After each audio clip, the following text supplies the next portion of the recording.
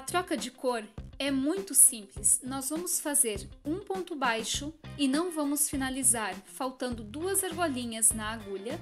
Nós vamos pegar o fio da outra cor, dobrar mais ou menos uns 7 centímetros e finalizar o ponto pegando o fiozinho de outra cor.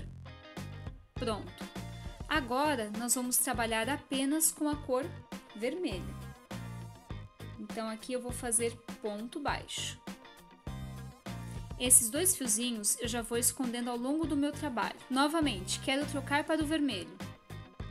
Insiro, faço ponto baixo e não finalizo e passo a linha da cor vermelha para dentro do ponto e continuo tecendo apenas com o vermelho.